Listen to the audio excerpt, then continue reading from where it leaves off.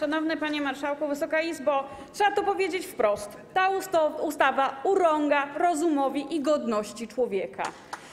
Jak wy planujecie przetestować 17 milionów pracowników tygodniowo? W tych 100 aptekach, które wspomagają teraz punkty wymazów? Są proste rozwiązania. Ustawa Lewicy czeka na procedowanie. O obowiązkowych szczepieniach mówimy już dawno. O paszportach covidowych mówimy już dawno. Tysiące ludzi można by uratować, ale wy wolicie zgłaszać gnioty, których nie da się wybronić pod żadnym pozorem. Ile jeszcze ludzi ma umrzeć, zanim zaczniecie procedować sensowne prawo? Ile jeszcze mogił mamy wykopać, zanim zaczniecie na poważnie walczyć z pandemią? Nasi bliscy umierają, wasi bliscy umierają.